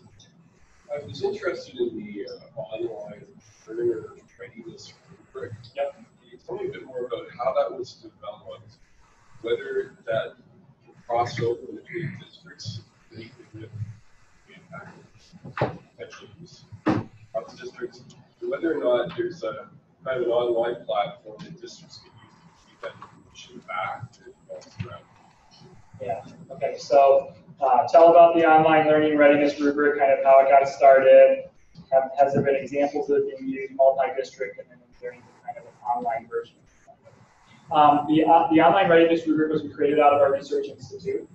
Um, it, it occurred in particularly have through conversations with our student learning teams and the, the areas that we saw uh, students struggling in and any kind of basic, some components of su- success traits that you see in literature and then kind of broken those out into different uh, levels or gradations that we thought could, could kind of, an individual person could somewhat reasonably select the differences between them and try to do it in somewhat of a parsimonious way. There's probably a lot of other dimensions, but we're just trying to start a conversation around areas that we see uh, students struggle with. So we kind of have just more, let's say, more face validity in terms of what you know you look at and say these seems like reasonable things to address. Um, in terms of how it can work with a particular district, um, you know, if, let's say you have your own student who evaluates it, you have your own parent or whatever, that information could easily, because it is a PDF or it has a PDF output, could easily be shared with that uh, teacher or that your mentor should be in your own district so they should know it, but could be shared with their online instructor. It's not the same thing, but an IEP or a 504, you get like special education requirements or other documentation are frequently provided to that online provider. This could be another component of that deal to say, hey, these are what we think you need to know about our child. These are the things uh, where we think their strengths or weaknesses or areas for growth. And so as you're trying to coach and work with this child through the program, to the extent that you can help work on some of these other skills, that might help prepare them better. Um, there is an interactive rubric, so there is a way, it's not exactly in the way that you think of it because it's more like you just press a button and some stars will appear uh, to be shared, but it could be moved and migrated into something, let's say like a Google form that could be aggregated or shared. Just on that note, just a question generally, do you want to address this particular question about student readiness? No. Is there an appetite in Ontario for something like that to be shared amongst districts? Head nods, head nods, hands up, whatever. That's more feedback to your consortium leads, I would suggest. Sorry to dump that on you, Michael, and Paul and Todd, but that's the way we roll here. Okay, question in the back. Yep, go ahead. My question was about your son who's going to take the course in the third hour. When he goes to the library to do so, which supervisor is given all the other students are doing that in all the different schools during that first through six hours? Yeah, so in his particular case, his counselor will be listed as his mentor of record. And usually there will be like a parapro or somebody else who would be part of that lab setting. In the district that they're in, just as I know some others are using technology, the district that they're in is a you bring your own device. So he will be provide, well, they, they, the school issues their own devices. So each of the kids have their own devices. So they can show up technically anywhere, but they also have lab and other, other settings. So whatever the hour of the day is scheduled, he will show up in there. He'll know who his mentor is, but his mentor may not necessarily be present on every day because that person serves the role of counselor. And they, it's not unusual for a school district to have multiple mentors. So you may have three or four, and somebody staffs a lab, and someone, depending on their subject area expertise or other role, may have um, be kind of ultimately responsible for the child. Or in some cases, um, like our counselors might be determined by student last name, you know, A through F gets this, these children that way. So they, they can be broken in a, in a variety of ways, but usually there is an adult who supervises that lab setting for that hour, and that would be the person who would be providing some of the, you know, direct help or questions that, that the child might have, because the teacher is asynchronous, right? If they ask a question to the teacher, they maybe 24 hours before they get it back. If they need something kind of on the spot, that person can supply them. And that's a legislative or policy requirement. And it's also in the Ontario handbook, but I know it doesn't exist in other provinces in Canada as a requirement. So it can be hit and miss. I think you're nodding, Frank. In Alberta, there's no requirement for an on-site mentor, is there? Yeah. And even with the, and even with the policy, it's hit or miss. As I mentioned, we get janitors and we get, you know, principals who are listed. In other cases, school districts will invest and they'll have five, you know, five really top-notch mentors who serve it. So it depends on how they invest in the program. So, uh, so in Michigan, the providers are at the level, which is equivalent for our boards. What do you see the advantages of uh, baby delivery at the local level as opposed to at the state level? So the question was really, um, as it pertains to kind of putting courses into a catalog, what's the advantage of having more decentralized allowing districts to be able to put the content in versus uh, a centralized approach? Well, um, for one, our, our, our Department of Ed would have no capacity to do this. Um, they, they, it's, it's not what they do, and I don't think they can do it well.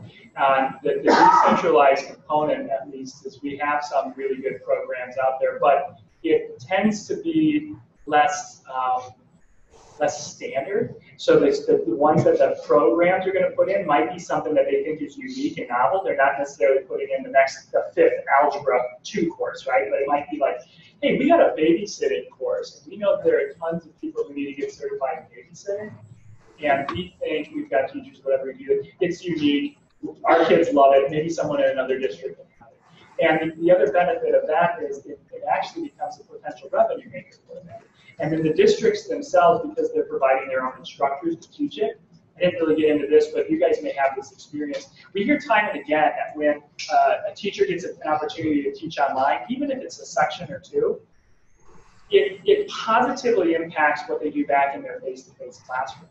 So the fact that those teachers who are working with our kids could actually take these and spend some time online and it improve the 90% of their job that they're doing, what a great benefit, right? Bringing those opportunities. So those are some of the.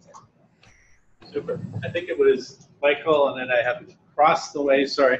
And we're just working up against catering, bringing us back fresh coffee. So we'll keep this going.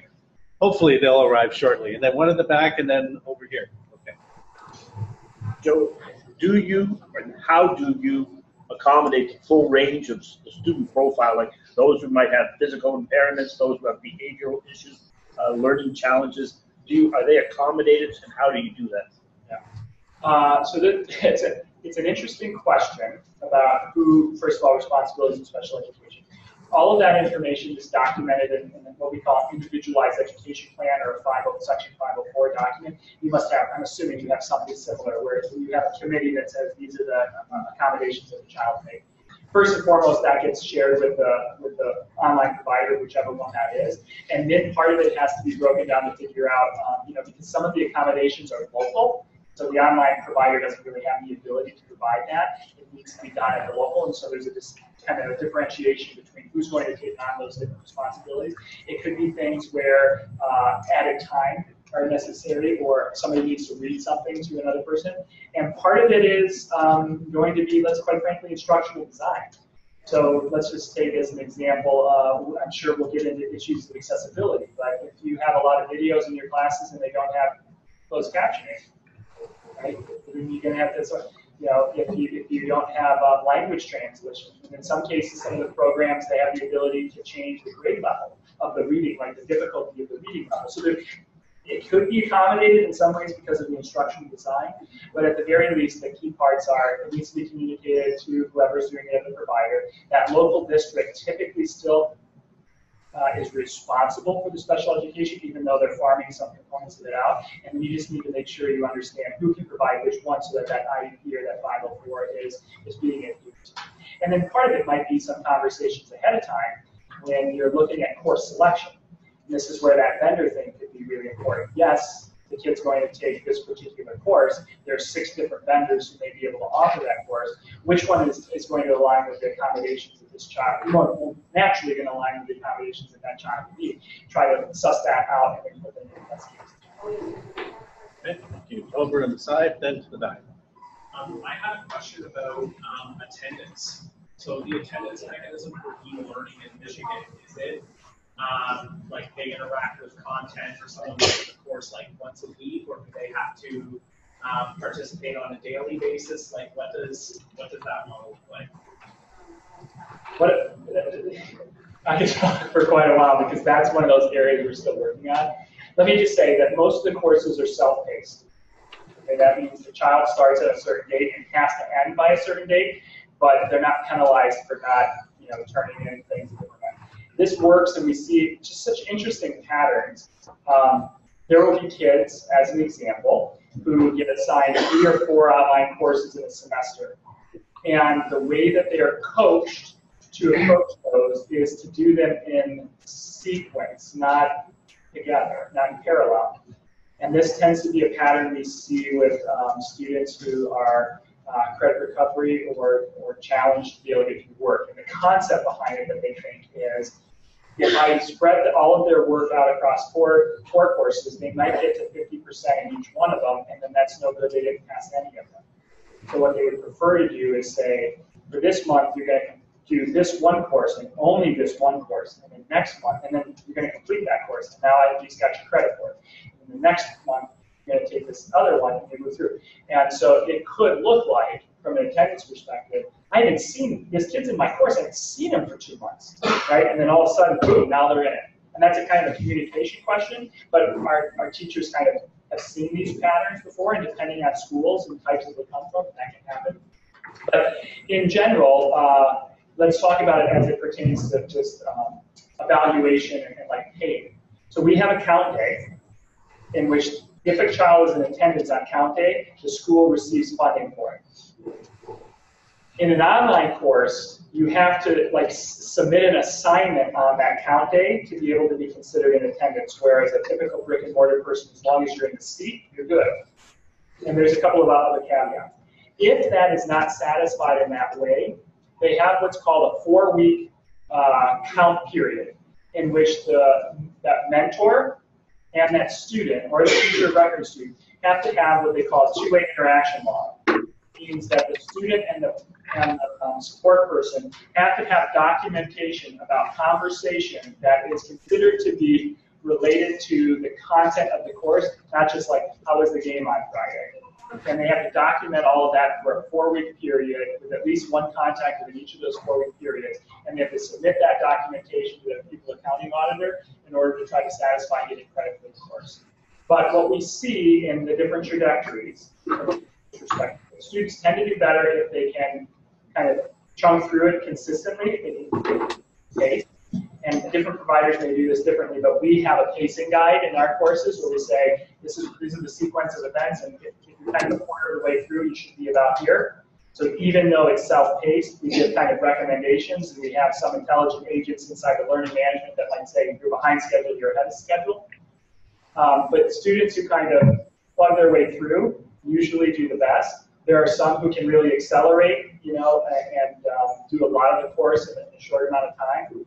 But students who fall behind almost never really get caught up, unless it's one of those scenarios where I said where it's it's determined ahead of time. There's something else that's going on. You know, I'm at the Olympics, you know, or I'm doing whatever. That, that happens, right? It's sometimes why kids are taking an online course and their just schedule won't allow for it, but they're planning on it. And then when you see that planning window come and the behavior patterns looking okay, say, okay, we're probably okay. Thanks. Joe, I'm sorry, at the back. Joe, first I was gonna say, uh, as Detroit Lions fan, ticket season holder, there online learning for them, or should I just be watching from a distance? You know, we should we should consider getting into that for a professional learning group, or at least a, at least a support group, right? Uh, serious question, of the twenty, or the twenty-five different providers in Michigan, um, online providers, that what you said in during, during your talk, as far as the number of providers in Michigan The- online?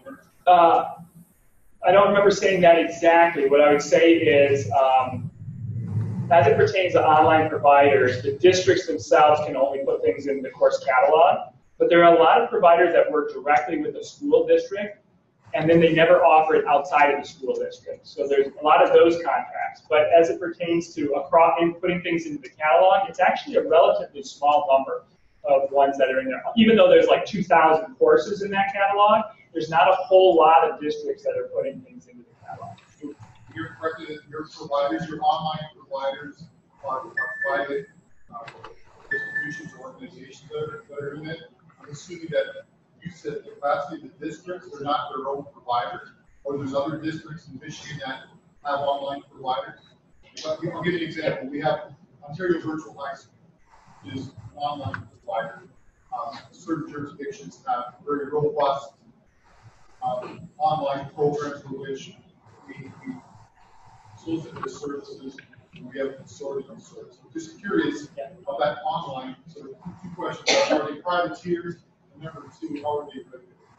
How, how are they regulated? Regulated as far as Yeah. coordination. Yeah, um, so the question is really just about what's the relationship between like for-profits and this, or, or providers and, and what gets in the catalog. Let me give you an example of Michigan Virtual as a way I think to answer that. At Michigan Virtual, we have our own instructional design team, and we design closely 40% of our own courses. So in-house course content creation.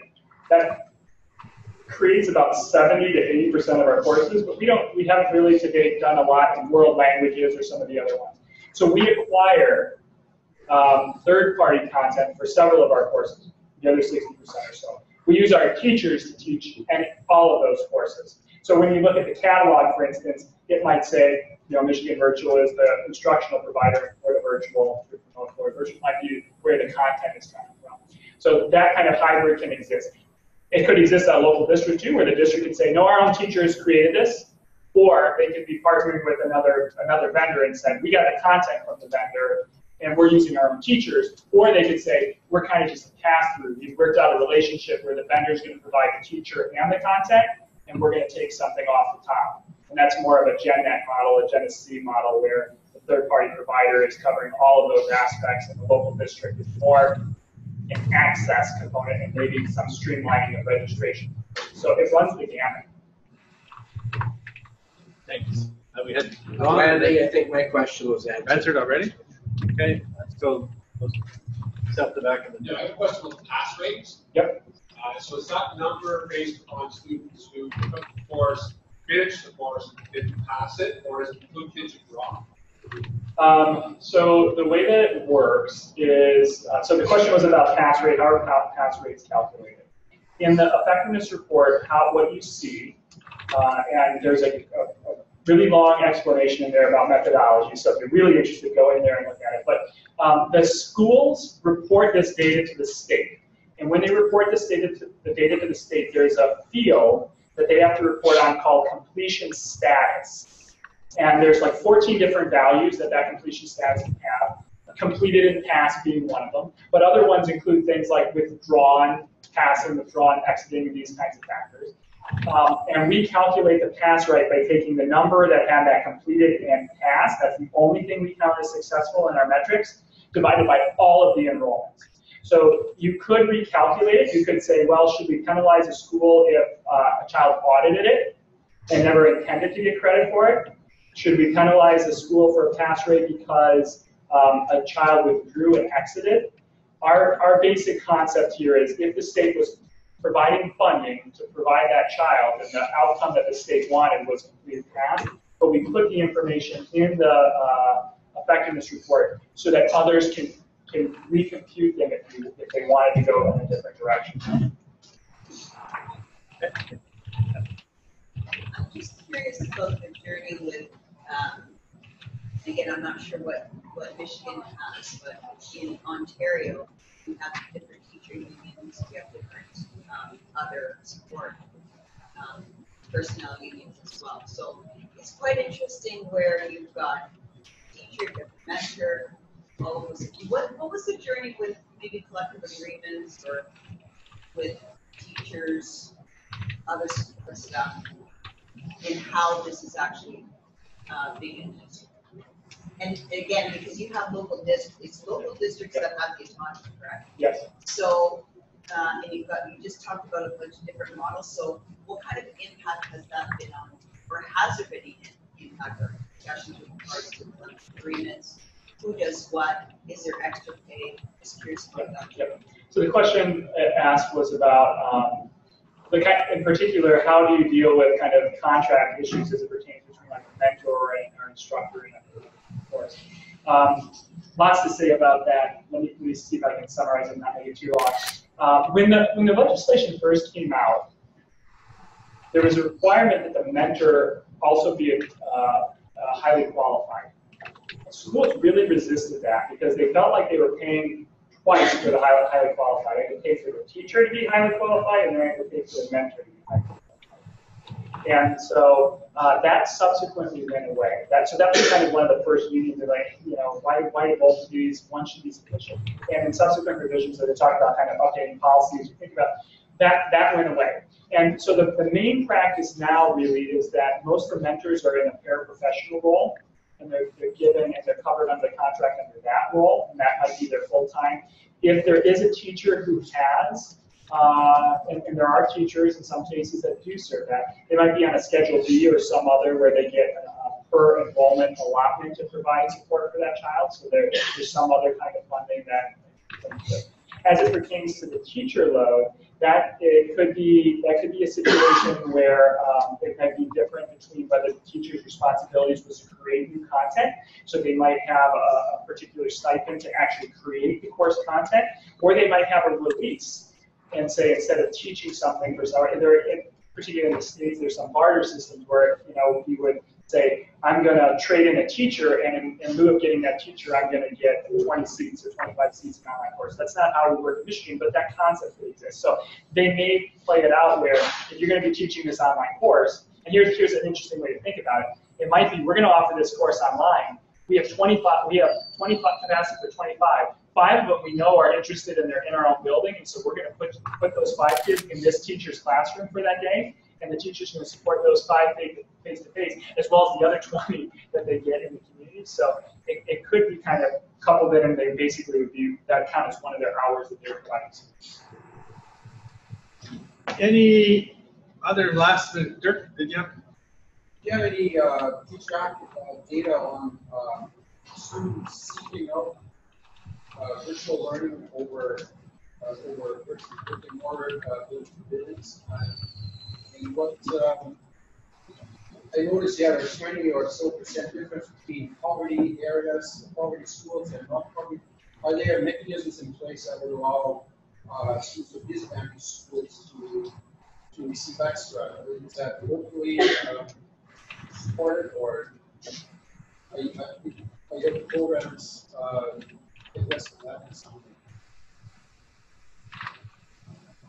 um, so the question is a little bit about like enrollment reason. Why are they? Why are the children enrolling? What do we see out of that, and how, how the schools deal with it? Is that kind of the substance a little bit? Well, I'm, I'm curious. I, I see that. I would like to see students uh, searching their own opportunities for learning, and so so is this just sort of a stopgap? Like, okay, now we're going to put you in virtual, or do you have you have examples of, you share those where groups of students have realized, yeah, this is actually a nice way of learning it, where we'd like to switch our learning process. Yeah. To have more. Yeah. So um, there's a requirement. Uh, it was probably on one of the slides, I just kind of skipped through it, and you guys have it later. But if you you have to put a link to the MiCourses website on your website. Okay, so there's like an, uh, an expectation that there'll be some communication to parents. Some might put that right on the front page. Others might bury it in six-point font somewhere, whatever, in a background color that looks, or a color font that looks similar to the background. There is, it is all over the map. And in fact, we looked at we look each year, we do a study, uh, we look at people's awareness, public awareness and attitudes around online learning. And even though we've had these laws for quite some time, almost less than half the public knows that they exist. And it's district specific because, as I said, some districts they'll be like, "We're putting all the online catalog in with the, with all the Facebook. You're going to know it all, and you come back and tell us." And others are like, "You got to pull teeth to let them even know that it exists." Now, I want to. I take this ever so slightly because I'm a data guy and you might be of interest, but when we've been tracking the data on why kids go, if you're going because it's a scheduling conflict, or you're going because the course is unavailable locally, you perform really quite well. If you're going because it's a learning preference of the student, it's much less, and if it's credit recovery, it's pretty often. So those factors, knowing those kinds of questions, what, why is the child getting interested into it, it may help you try to understand the different kinds of conversations that child might need and or the likelihood that they may need support. So in, in terms of support is another example because I've heard some questions about third hour versus others. Some of the mechanisms that people might do is say, you know what, first online course, uh, you're going to be showing up for the first month and you're going to be on site. But I'll tell you what, if you got uh, an 85% or above, and you've completed at least a third of the course by then, you can go off site. I'm not going to require you to come to the lab. But the moment you drop below 75, 80, whatever, you're going to be back in this lab. And we're going to finish this next. So there's ways that they can do different supports to try to entice the children, sometimes they like to be on their own and do it, and some kids can handle that. Then it reduces the load, and there's still some check-ins, but um, they do some interesting things. So how robust is the feedback mechanism between the uh, teacher of record, the teacher who's teaching the content, and out-of-board students, right, and their guidance people or somebody at their home school? So they get the feedback that, you know, they're not doing well, they're not doing their assignments, you know, they haven't logged on in days or a week or seven days. How does that feedback get back to the local support so that they know that they need to target that student? So there's a couple of, so the question is like, how does feedback, how do feedback move schools in these kinds of systems? Um, one, there's a variety of them. One is that there's direct messaging. So if at any point an instructor wanted to reach out to a mentor, they can sign, you know, send a message to the mentor. Grading policies probably differ between different providers. Usually it's uh, email within 24 hours, graded within 48 hours, and, and it's not infrequent where at least some component of an exam would be graded immediately by the system, and the child would know on those and be waiting for a little bit longer for feedback on written up questions. But many systems, many learning management systems, allow uh, uh, providers allow the child or the mentor to log right in and see in real time where the child's at. So, for instance, if you were a mentor, you could log in and you could see your students. You could find out when they were last online. You could see their activity, and there's often visual dashboards and things that you can look at. You can see their grade book. You can see what's assigned. So you have that 24/7 in, in at your fingertips to be able to look at from a particular provider. There's not a statewide aggregate, and so that's where it may be, in some sense, easier for mentors if their students that they're providing are, are, are more nested or clustered within one or two providers because when they get used to that system, it's harder if they were dispersed or across 30 different providers. Um, but a lot of learning management systems or student information systems, they're usually in the SIS that bring that information forward to them. And then there's often automated um, automated newsletters or progress checks at certain points. So at various times of the season, they will get an automatic automatic update and information about where the child's at. So are the mentors primarily being proactive, going in on a regular basis, seeing how their students are doing? Or is it mostly reactive, waiting for that feedback from the, the teacher saying, the student the best mentors are making plans with their children about what they need to do moving forward, and then they're confirming that that work was done, and then figuring out what the next plan moving forward is. Okay, closing, Frank. I just want to follow up from Dirk. You, you mentioned that if a student is registering online for uh, scheduling issues, their success rate is pretty good. If they're registering because they have a self-declared interest in doing this, their success rate is actually lower. So when you say they're they're registering for self-declared interest, are they doing this in an informed way? Do they know what they're getting into when they're getting into the online, and then still not succeeding, or are they coming in with a preconceived notion, which is something I see in my school, that online is going to be easier, and then they end up dropping it? Um, so typically, I would say that the scheduled conflict and the course unavailable locally are still issues where the child wants to take that course, right? So if you take if you take one and you put those two aside, it is not for one of those things that the child still wants to take it. It's typically maybe uh, an avoidance. It's not credit recovery. They haven't failed it. They might be just you know wanting to try something else. Uh, I don't have data about can, to break it any further down than that, but I will tell you that is one of the big surprises that we see frequently which is, wow, this course was harder or as hard or harder than what my courses are face to face. And I never expected that to be. Okay, Joe, once again, thank you, thank you, thank you so much.